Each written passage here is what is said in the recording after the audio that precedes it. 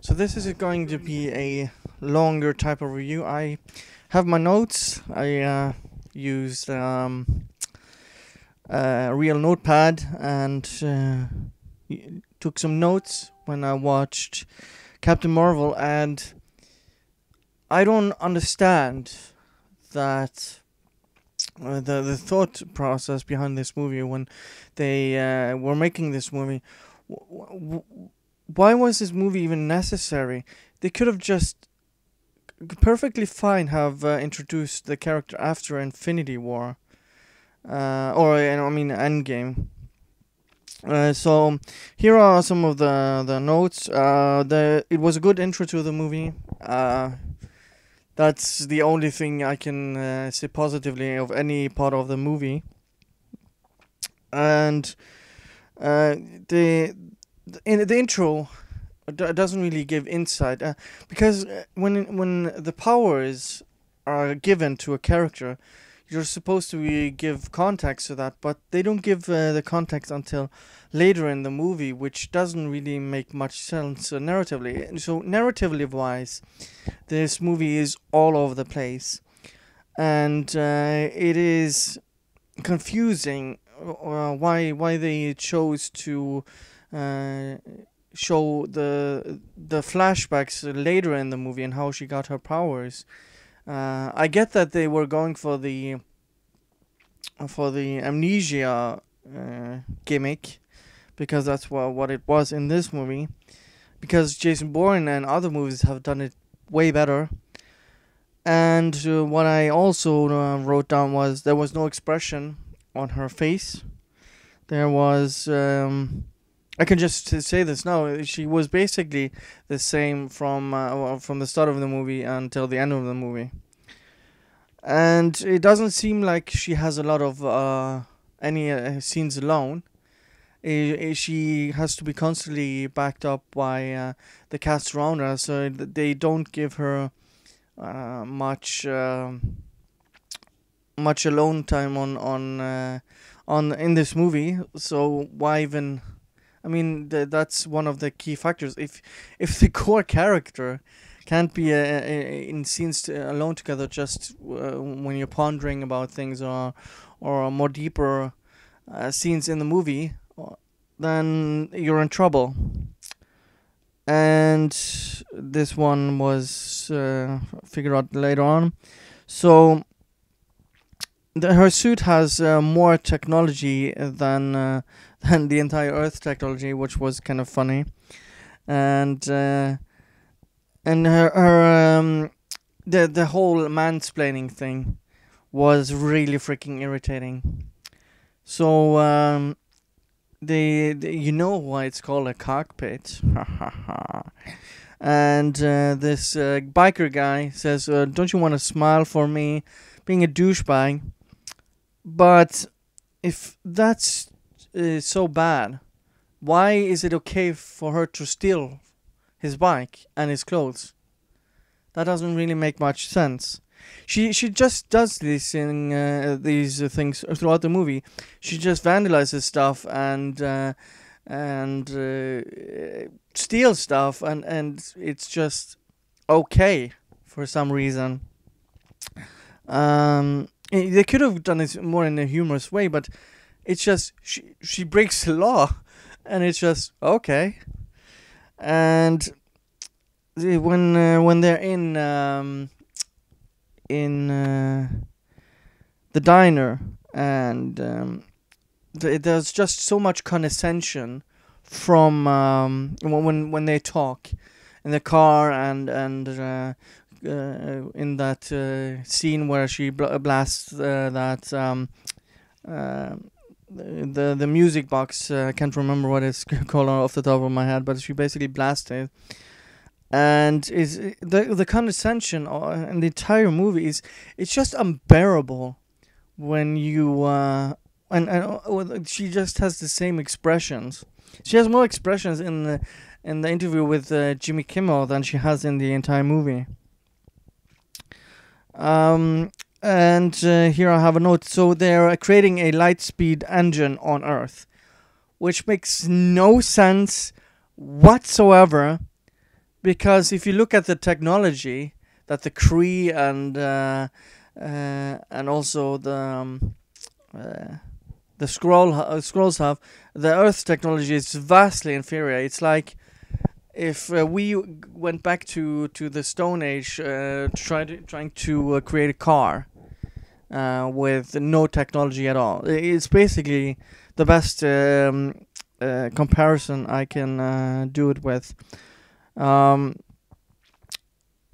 so the when it, when it comes to uh, the the dynamic between Samuel L. Jackson and Brie Larson, they have some some um, minor moments where it's actually works, but for the most part it doesn't.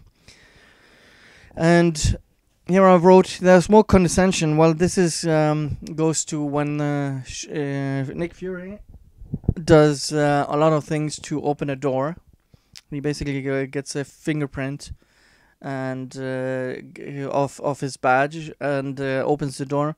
And then uh, just moments later, she just blasts open the door and she says, "I I just wanted to see you uh, uh, succeed" or something like that. Uh, even more condescension from her. Uh, so I, I don't even know why why Fury looks up to her when she's constantly talking down to him. And so uh, it was also clear she she crashed in in 1989 and uh, Marvel uh, Captain Marvel because I in my notes I first uh, thought that it was the Supreme Intelligence. But there's no reason why the Supreme uh, Intelligence uh, looks like uh, Marvel which is a woman for some goddamn reason.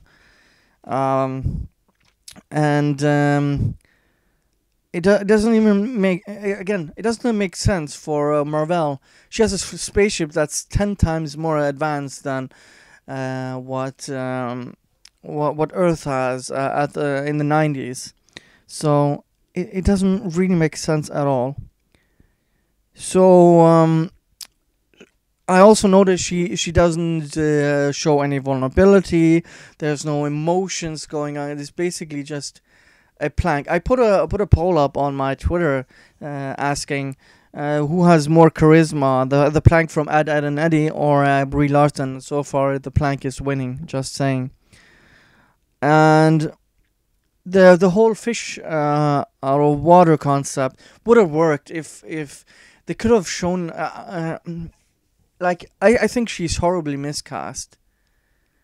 Or or the direction of this movie is horrible and narratively wise the the writing is all also all, all over the place because they're retconning stuff that has been established in the MCU as canon. And uh, jazz hands are mentioned uh, by by the Skrull by Talos. Seems like an SJW argument. And I wrote Maria Rambeau and her daughter uh, are good things uh, in in this movie. I would also say Samuel L. Jackson. Uh, Jude Law is good from what he gets. He does it's not much he's given to work with, and yeah, and and so so it uh, it it takes a long time, but they they need Earth technology. It doesn't make uh, sense for uh, for Marvel. It um again the that's. That's something I wrote down again. There's also something that uh, that was really interesting is that so in in uh, in the flashback it, it shows Captain Marvel cr- crash landing with uh, because she's a test pilot and she's not a quote unquote real pilot and she uses this uh, light speed technology Captain Marvel in this uh, test uh, test flight uh, and they crash because they get attacked uh, by Kree and there there's a blue blood uh, when she she crashes. And how does no one in the military understand see that she has blue blood? That's uh, a um, plot hole that is not uh, explained. So so nobody checked that um, she was an alien um, and she she got a, uh, it was basically middle of the movie in the second act. She got powers by shooting the energy core of the ship, which is really freaking lame. Uh, because she didn't want um, uh, the her her teacher, her uh, lieutenant, to to get the the core of the ship, and she got powers by doing it, which is a really lame way to give her powers, to be honest. And that this is the part where it it's really freaking irritating. The, she ch- just gets a change of heart, but again, she doesn't show any vulnerability or or or motivation or anything behind this. She, she basically finds out no, all Kree are evil, okay, and the Skrulls are refugees, okay. And why does she change sides? There's no real motivation I mean, her expressions don't even show uh, emote anything she's uh, she's supposed to do in the movie, and there's a lot of uh, uh um, telling and not showing. So there's a lot of uh, exposition and uh, and stuff like that, especially in the second act, that's being told. But the, instead of that, they should have just showed the stuff instead of telling uh, how how great Captain Marvel is and how awesome she was and things like that. It's uh, um, it's it's uh, just it suffers from uh, not actually showing us uh, the character that is uh, Carol Danvers, and the movie suffers from it. And it's shown that the Tesseract is the core of of the ship which doesn't really make any sense at all because they found the Tesseract with uh, uh, Captain America, as far as I know, uh, right before Avengers, uh, uh, the first Avengers in 2012. So that's like, what? Uh, that's 17 years after she she was on Earth. That doesn't make any sense. How? The, it just destroys the narrative the MCU has uh, set up because they they they were looking for it all this time, and it just doesn't make any sense. And um, the let's see, and uh, it shows in the in the ship that she had a lightspeed tech, uh, or or it was the core of her ship doesn't really explain what it was for. It was it's just a MacGuffin at that point. And uh, in in the movie, it's not really explained either. She has a chip inhibitor, which uh, is said to hold her powers back. But it doesn't really explain what happens if it goes off. Does does she have to control the powers? Has she had problems controlling her powers? Why did they put it on? And it just seems like oh, uh, her her uh, mentor just put it on because um, he's a dick. That's basically what it, it comes it comes down to. Eh? And she basically uh, faces the supreme intelligence that is evil and Nirvana comes on uh, with "Come as You Are," but that's like two years after she left Earth. So again, that's a plot hole. That's um, that's just narratively a, a, stupid thing to do. And when she finally gets her inhibitor, her chip off, she does it w- uh, against Supreme Intelligence, and she just goes Super Saiyan and just like that, and she she just uh, masters her powers just like that. And uh, I'm just a girl, girl from No Doubt comes on. Like you can roll your eyes at that. Apparently they they had uh, several different songs they wanted for this. I mean, uh, they could have had a bad reputation, uh, the Ronda Rousey theme song. I mean, that would have been a better one. And she's basically Mary Sue, she she's basically the same from from the beginning to the end. Uh, the the same as Rey is, except for for Rey, she just awakens her powers, which uh, Carol Danvers also does. Um, and she she's also like Finn in uh, in The Force Awakens because in in the third act she just blasts Kree all over the place with no remorse. There's no um, there's no conflict in her that says me I have conflict uh, attacking uh, people I used to have as uh, colleagues and friends. But no, we're just gonna kill people without any more remorse. Uh, Ronan is like a bitch. He uh, she she basically closes her fist and she, he runs like a, bi- a bitch. Uh, and the the Skrull versus Kree war didn't even start, and uh, so uh, the, the they are now relocating or uh, Carol Danvers at the end of the movie is basically relocating the Skrulls again, but that that doesn't make any sense. So th- they they're basically making everything in reverse of what uh, the um, Kree versus Skrull war, war was in the, the Marvel comics. I don't know mu much about it, but it, it, they're basically just they're, just screwing with uh, the canon that was made. And Avengers was named after Captain Marvel.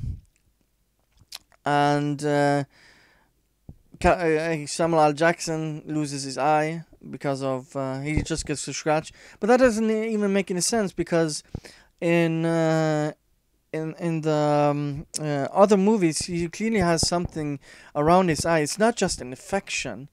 That doesn't doesn't make any sense. And why does everything have to be explained? They could have just let that be and not explained how he lost his eye. But they did. So sometimes mystery is just a good thing. But they no, let's just screw with that as well. Avengers is named after Carol Avenger Danvers. Of course it is. Um, and the, uh, Nick Fury was just so silly, and it just it just destroys his character in my opinion. Because he goes from just this silly, goofy character to this serious uh, for for no reason at all. There's no reason he just becomes so serious.